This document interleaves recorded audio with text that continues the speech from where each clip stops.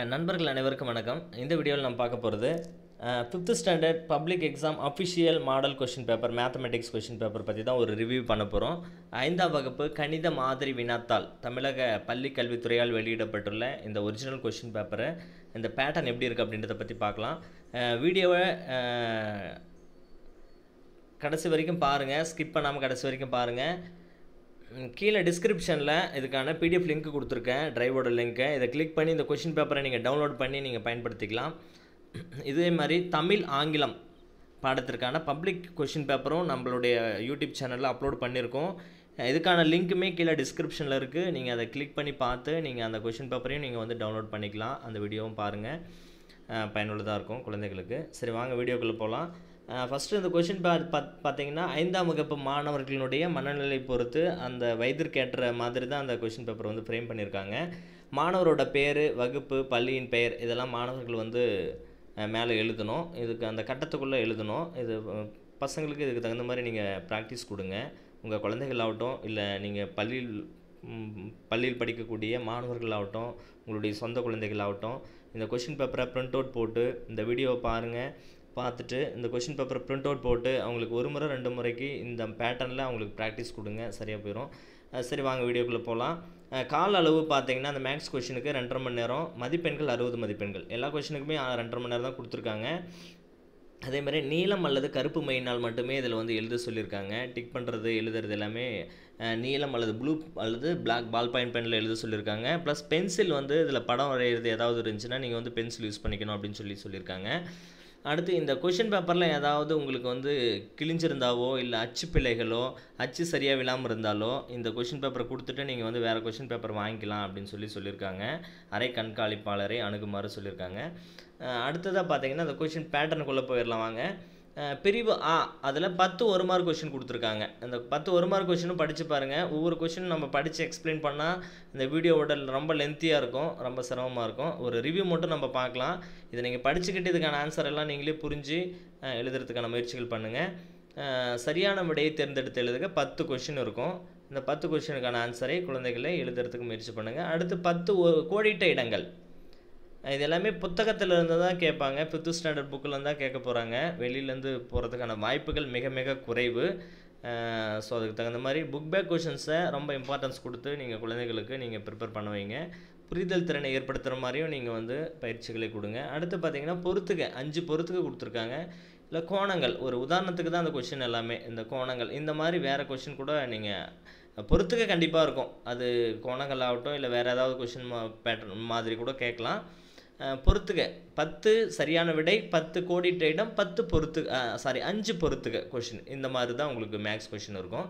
அடுத்ததாக பார்த்தீங்கன்னா அஞ்சு ஒரு மார்க் கொஷின் புரிஞ்சு எழுதுகிற மாதிரி இருக்குது புரிதல் திறனை சோதிக்கிற மாதிரி இந்த கொஷின் கொடுத்துருக்காங்க பாருங்கள் ரெண்டு மாம்பழங்களிலிருந்து ஒரு இரநூத்தம்பது மில்லி பழச்சாறு கிடைக்குது அப்படின்னா நாலு மாம்பழத்துலேருந்து உங்களுக்கு எவ்வளோ பழச்சாறு கிடைக்கும் அப்படின்றத கொஷினாக கேட்டிருக்காங்க. படம் கொடுத்து எக்ஸ்பிளைன் பண்ணியிருக்காங்க. ரெண்டு மாம்பழத்துலேருந்து இரநூத்தம்பது மில்லினா நாலு மாம்பழத்துலேருந்து எவ்வளோ கிடைக்கும்? குழந்தைகள் இந்த யோசித்து எழுதணும்.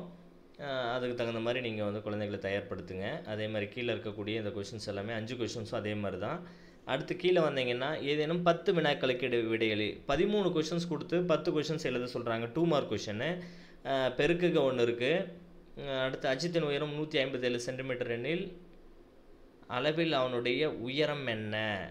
மீட்டர் அளவில் அவனுடைய உயரம். சென்டிமீட்டரில் கொடுத்துருக்காங்க. மீட்டர் அளவில் அப்படின்னும் போது அவன் அதை கன்வெர்ட் பண்ண தெரியணும் இதெல்லாம் நீங்கள் ப்ராக்டிஸ் கொடுங்க.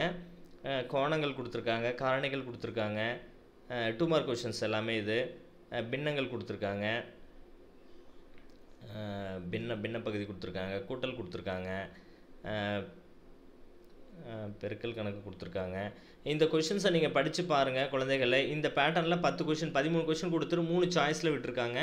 பதிமூணில் பத்து கொஷின் இவங்க அட்டன் பண்ணால் போதும் அவங்களுக்கு தெரிஞ்ச கொஷினை அதுக்கடுத்து தான் பார்த்தீங்க அப்படின்னா ஃபைவ் மார்க் கொஷின்ஸ் கீழே ரெண்டு ஃபைவ் மார்க் கொஷின்ஸ் இருக்குது பத்து மார்க்கு ரெண்டு ஃபைவ் மார்க் கொஷின்ஸு மேலே ஆணிமணி சட்டத்தை வந்து நல்லா குட் இப்போ உற்று நோக்கிக்கிட்டு அதுக்கு கீழே அதுக்கு கேட்குற கேள்விக்கான பதிலை வந்து நம்ம எழுதுகிற மாதிரி இருக்குது மூணு கொஷின்ஸ் ஆன்சர் பண்ணுற மாதிரி இருக்குது இந்த மூணு கொஷினுக்கும் சரியாக ஆன்சர் பண்ணீங்கன்னா உங்களுக்கு அஞ்சு மார்க்கு பாருங்கள் ஆணிமணி சட்டம் காட்டும் எண் எது அப்படின்னு சொல்லி கேட்டிருக்காங்க. ஒன்றுகளில் எத்தனை இருக்குது பத்துகளில் எத்தனை இருக்குது நூறுகளில் எத்தனை இருக்குன்னு பார்த்துக்கோங்க.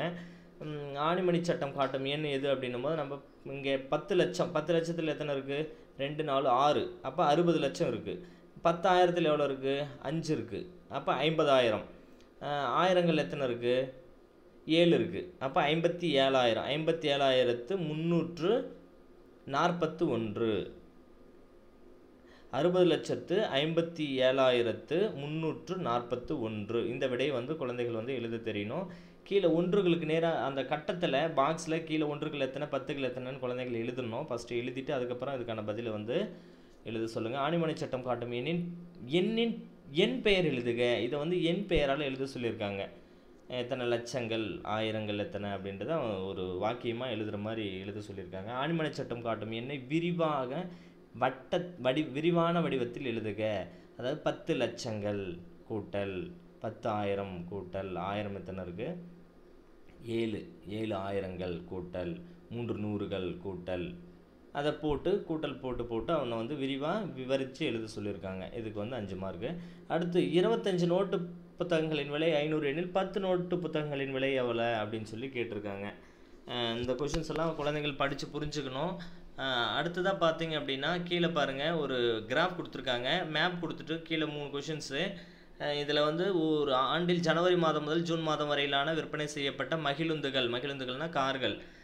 எண்ணிக்கை பட்டை விளக்கப்படமாக கீழே கொடுக்கப்பட்டுள்ளது. ஜனவரியில் எவ்வளோ கார் சேல் பண்ணியிருக்காங்க நானூறு கார் சேல் பண்ணியிருக்காங்க பிப்ரவரியில் ஐநூற்றம்பது காரு. மார்ச்சில் அறுநூறு காரு. ஏப்ரலில் நானூற்றம்பது காரு. மே மாதத்தில் ஐநூறு காரு. ஜூன் மாதத்தில் நானூறு கார் சேல் பண்ணியிருக்காங்க கொஷின்ஸ் பாருங்கள் எப்படி கேட்டிருக்காங்கன்னா. மார்ச் மாதத்தில் விற்கப்பட்ட மகிழுந்துகளின் எண்ணிக்கை. மார்ச்சில் எவ்வளோ இருக்குன்னு அந்த மேப்பை பாருங்கள் மார்ச்சில் எவ்வளோ சேல் பண்ணியிருக்காங்க அப்படின்னு பார்த்தீங்கன்னா ஆறுநூறு காரு. இது ஆறுநூறுன்னு எழுதணும். ரெண்டாவது விஷயம் ஜூன் மாதத்தில் விற்கப்பட்ட மகிழுந்தின் எண்ணிக்கையானது பிப்ரவரி மாத பிப்ரவரி மாதத்தில் விற்கப்பட்ட மகிழுந்துகளின் எண்ணிக்கையை விட எவ்வளவு குறைவு அப்படின்னு சொல்லி கேட்டிருக்காங்க. ஜூன் மாதத்துக்கும் பிப்ரவரி மாதத்துக்கும் கம்பேர் பண்ணியிருக்காங்க. ஜூன் லெவலில் நானூறு. பிப்ரவரியில் எவ்வளோ ஐநூற்றி ஐம்பது. எவ்வளோ குறைவு அப்படின்னா நூற்றி ஐம்பது. அது இதில் நானூறு இருக்குது ஜூனில். பிப்ரவரியில் ஐநூற்றி ஐம்பது. அப்போ ஐநூற்றம்பதுலேருந்து அவன் நானூறு வந்து கழிக்க தெரியணும். அந்த பிப்ரவரியில் எவ்வளோ இருக்குன்றது எண்ணிக்கை பார்க்கணும். ஜூனில் எவ்வளோ இருக்குன்னு எண்ணிக்கை பார்த்துட்டு அதுலேருந்து அவனுக்கு குழந்தைகளுக்கு கழிக்க தெரியணும். யோசித்து திங்க் பண்ணி கழிக்கிற மாதிரி இருக்குது எந்த மாதத்தில் சம அளவு மகிழ்ந்துகள் விற்கப்பட்டன? எந்தெந்த மாத எந்த மாதத்தில் ரொம்ப சமமாக இருந்துச்சு? மாதங்களோட பேர் கேட்குறாங்க இதில் எண்ணிக்கை கேட்கல மாதங்கள் அதாவது ஜனவரி மாதத்தில் நானூறு விற்றுருக்கு ஜூன் மாதத்தில் நானூறு விற்றுருக்கு சரிசமமாக இருக்குது இந்த கட்டம் வந்து எதில் சரிசமமாக இருக்குதுன்னு பார்க்கணும் குழந்தைகள். பார்த்து அதுக்கு தகுந்த மாதிரி விடைகளை வந்து எழுதணும். கொஞ்சம் புரிஞ்சு எழுதுகிற மாதிரி தான் எல்லா கொஷின்ஸுமே இருக்குது அதுக்கு தகுந்த மாதிரி உங்கள் குழந்தைகளையும் மாணவர்களையும் வந்து தயார்படுத்துங்க. மேலும் இது போன்ற பயனுள்ள வீடியோக்களுக்கு நம்ம சேனலை சப்ஸ்கிரைப் பண்ணிக்கோங்க. பக்கத்தில் இருக்கக்கூடிய பெல் ஐக்கானையும் கிளிக் பண்ணிக்கோங்க. மேலும் இது சம்பந்தமான fifth standard public exam official question paper சம்பந்தமான வேறு ஏதாவது உங்களுக்கு சந்தேகங்கள் இருந்தால் கீழே கமெண்ட்ஸில் என்ட்ரி பண்ணுங்கள் நாங்கள் ஹெல்ப் பண்ணுறோம் இதேமாரி தமிழ் மற்றும் ஆங்கிலம் கொஷின் பேப்பர்ஸும் கீழே நம்மளுடைய சேனல் அப்லோட் பண்ணியிருக்கோம். அதுக்கான லிங்க் கீழே டிஸ்கிரிப்ஷனில் கொடுத்துருக்கோம். அதை கிளிக் பண்ணி பாருங்கள் தேவையான கொஷின்ஸ் வந்து நீங்கள் டவுன்லோட் பண்ணி உங்களுடைய குழந்தைகளுக்கு ப்ராக்டிஸ் கொடுங்க. உங்கள் குழந்தைகள் தேர்வில் வெற்றி பெற்று அதிக மதிப்பெண்களையும் அதிக சிந்திக்கும் திறனையும் வளர்த்துக்கொள்ள என்னுடைய வாழ்த்துக்கள். நன்றி.